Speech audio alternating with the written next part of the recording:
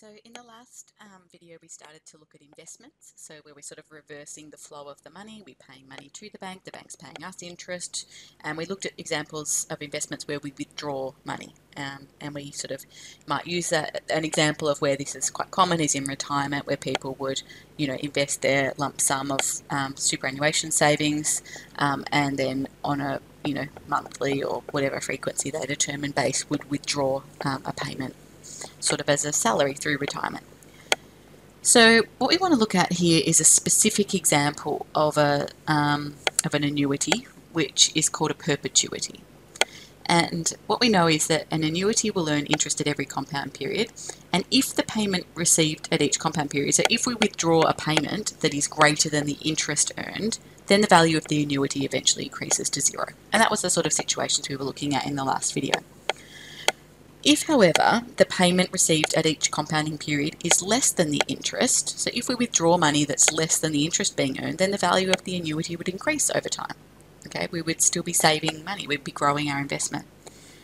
Further to that, if the payment received at each compounding period is actually equal to the interest earned, so if we, we just withdraw the interest every month or every time we compound interest, um, then the annuity will maintain its value indefinitely and we call this a perpetuity. We say the value, uh, we, uh, when something doesn't change, it happens uh, in perpetuity, forever, you know, for an indefinite period of time. As we go on and on in time, this is what will happen.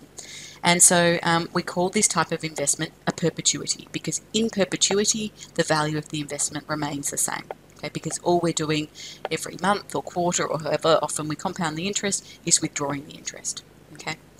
Um, and so these are basically interest-only loans, but in reverse. So in an interest-only loan, we take, we borrow the money, we repay, we make repayments to the bank, and every month or every compounding period, the repayment is equal to the interest. So all we're doing is paying off the interest every month, the value of the loan doesn't change. The same is true here, it's just happening in reverse. We're investing money into the into a, a bank, um, and every compounding period that um, investment grows according to interest, um, and then when we make our withdrawal from that investment, we only withdraw the value of the interest and therefore maintain the value of the investment at its initial value. Okay, so again, the recurrence relations are the same as what they were, what they are for um, interest-only loans, and they're pretty much the same as what they are for reducing balance loans and um, the annuities we looked at in the previous video. The only difference is when we're calculating the payment, the payment is going to be um, a percentage of the initial investment. Okay. Um, so if the payment amount is equal to the interest added in the first compounding period, then the balance of the annuity remains constant and what we have is actually a perpetuity. Okay, so again, Finance Solver can be used for these, but the calculations are actually very straightforward because exactly the same thing happens every month, um, and we shouldn't, we don't really need the Finance Solver, but we'll have a look at um, solving these problems in both ways. So $3,000 is invested in a perpetuity that will provide a monthly income without using any of the initial investment, so just by paying the interest. If the interest rate for the perpetuity is 5.5% per annum, what monthly payment will be received? Okay, so the monthly payment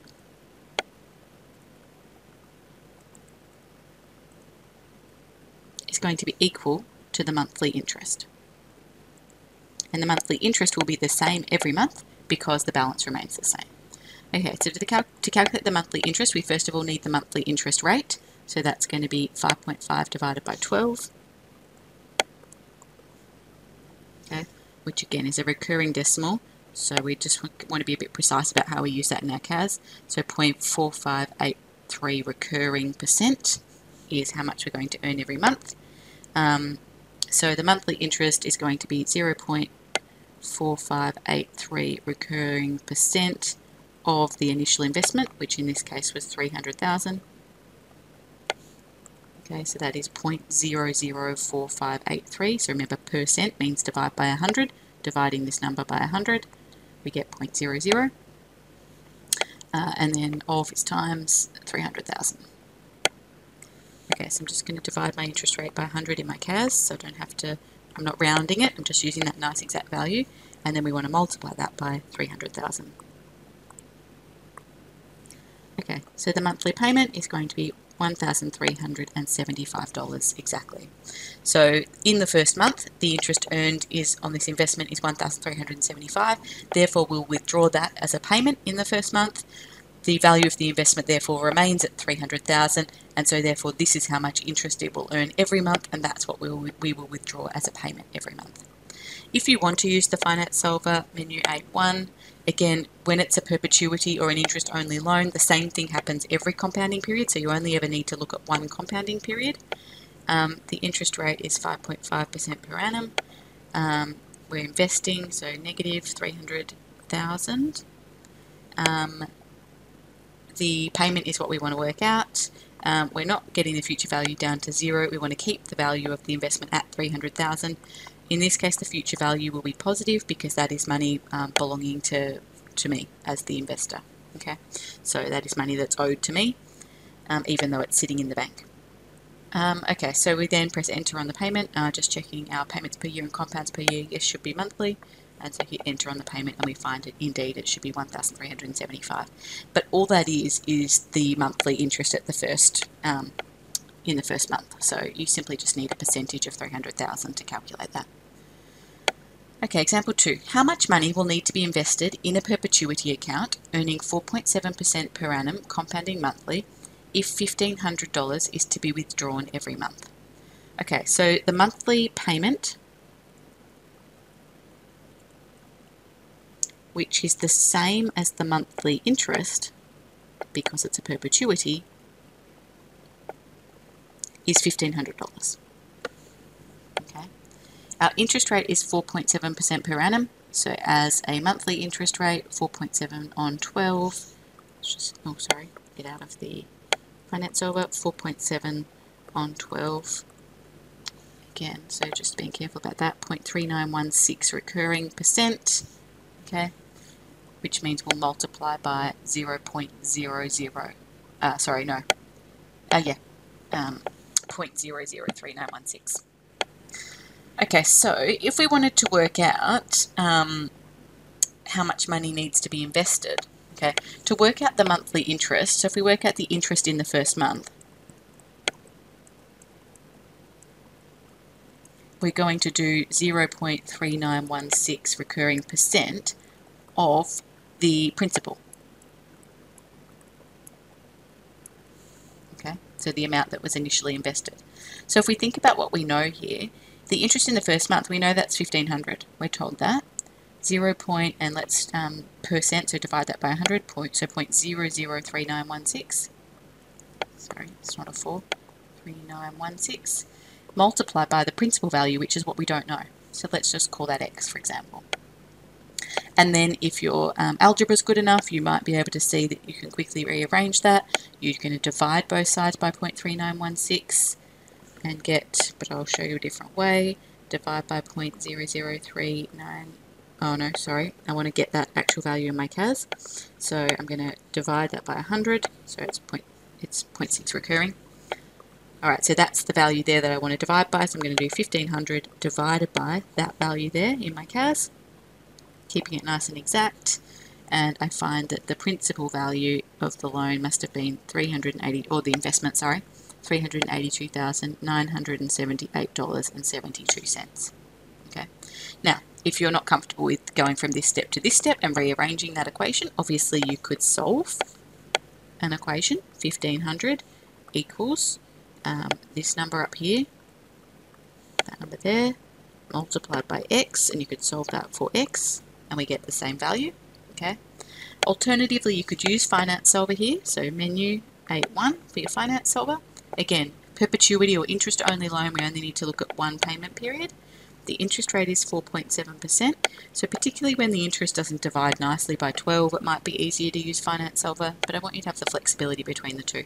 Principal value is what we're trying to find out. Um, the payment is 1500 um, and the, ah, now this is actually, sorry, my, my mistake. You actually cannot use your finance solver here. And that's because if it's the principal value that you don't know, you then have, it means you have two unknowns in the finance solver because we don't know what the principal value was and therefore we also don't know what the future value is. So actually finance solver isn't going to be any use to you and so you're going to need to know how to work through this um, by thinking about how we go about calculating um, the interest. So the interest in the first month is the monthly percentage times the principal. So in this case, we know what the interest is in the first month, we know what the monthly interest rate is, and it is the principal value that's unknown. So set up a little equation, either get your CAS to solve it, or do the rearranging yourself and get your CAS to calculate it. Okay, so example three. An old Melburnian intends to award an annual Melbourne Grammar School scholarship worth $15,000. He plans to invest $800,000 in a perpetuity so that the interest from the investment can fund the annual scholarship. What is the minimum interest rate that will allow this prize to be awarded indefinitely? Okay, so this time we know um, what the initial investment was. We know what the um, payment that we want to be able to take out of it every year is, but we want to know need to know what the um, interest rate would be. Okay, so in this case, once again, we know that our um, monthly payment is the same as our monthly interest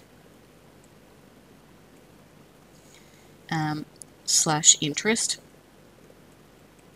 is going to be equal to our um, monthly interest rate. Oh, sorry, it's not monthly, it's annual. We're taking only taking the payment out once a year. So the annual payment or interest is going to be equal to R, which is going to be our annual interest rate, multiplied by um, the principal.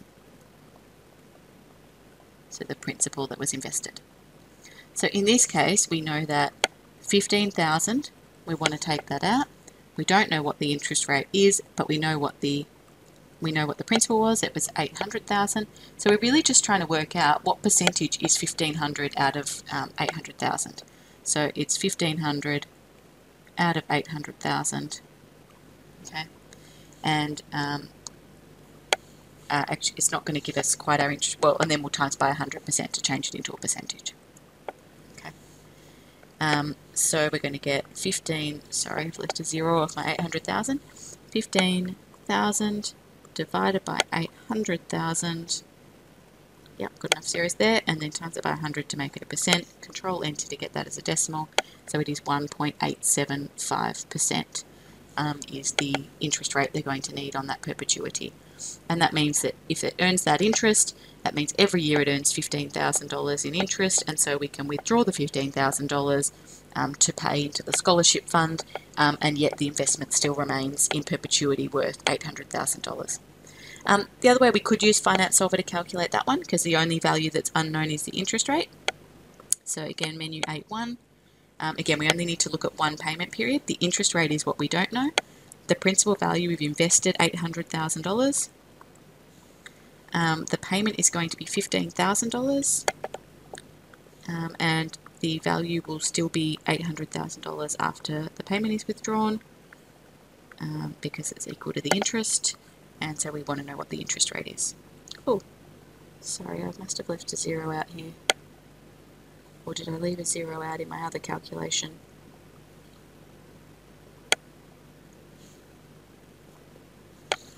Ah, I've realised my error. We remember that this is an annual um, investment and so um, payment per year and compound per year isn't 12, it's 1.